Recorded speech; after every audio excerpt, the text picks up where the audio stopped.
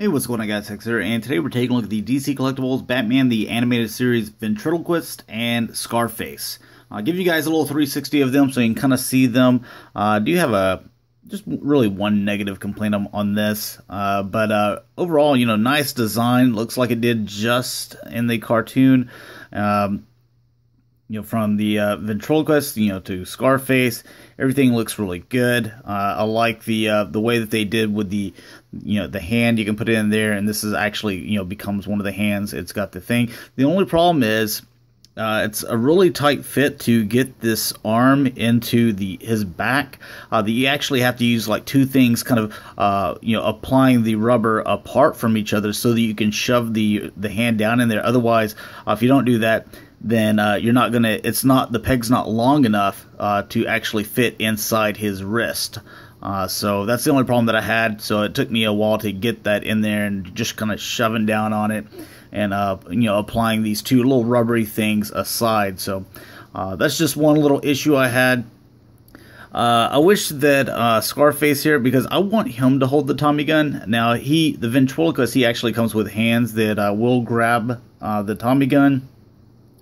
But from the episodes that I can remember, uh, it was actually uh, the Scarface guy that had a Tommy gun all the time, and uh, he was kind of a more passive person to where uh, he just kind of this guy's the boss. Scarface is the boss and he just kind of does what scarface says. Actually scarface tries to kill uh, the ventriloquist in one of the episodes which is um, you know, kind of strange, you know, and kind of dark uh, for you know a, a cartoon.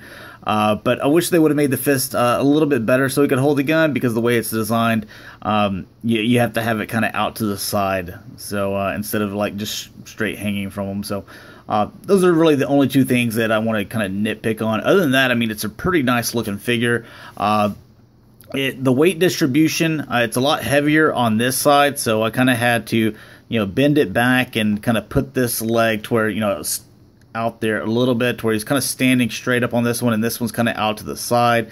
Bending back uh, to kind of like counteract that uh, weight of having the uh, the dummy or Scarface actually they, he Scarface calls him the dummy. So it's a really funny episodes that uh, this character is in.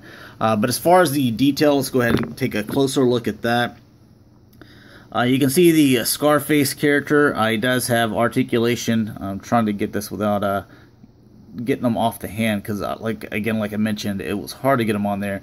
Uh, so this goes up and down. You can actually move. You can see the oh god man. So the, okay so that's what I'm talking about. Uh, but you can move the uh, on the wrist where he can go back and forth on there.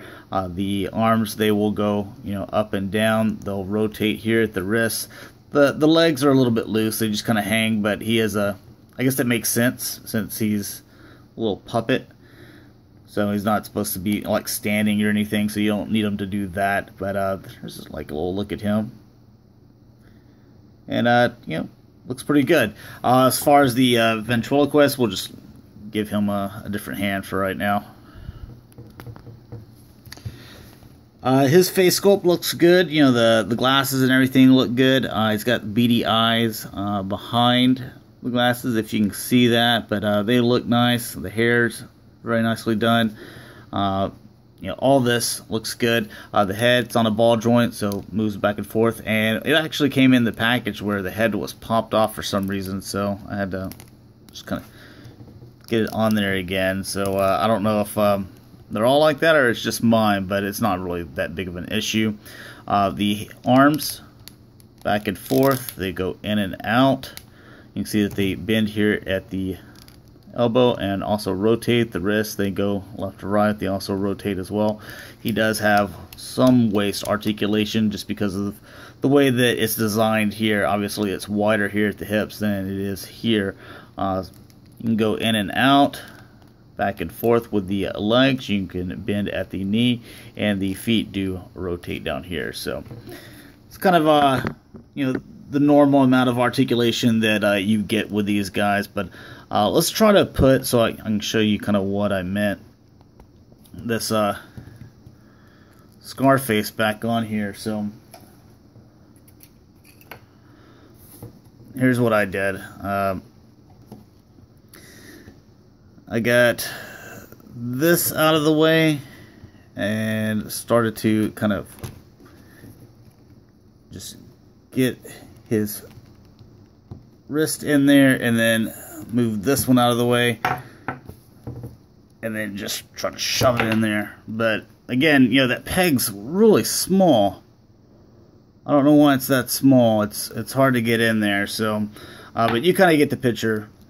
It, will take you a while to get on there, or at least it did with mine. Uh, in the uh, instructions, it shows the like the peg to be like this long, which is not the case. But, anyways, uh, thought I'd share this with you guys. So, catching up a little bit on my Batman the animated series and the new Batman Adventure figures from DC Collectibles. So I'll start rolling some of those out because I have a ton of more stuff coming in, uh, which is some more DC stuff and some more Transformers and uh, whatnot. So thanks a lot for watching, guys. Hopefully you enjoyed, and I'll talk to you later. Peace.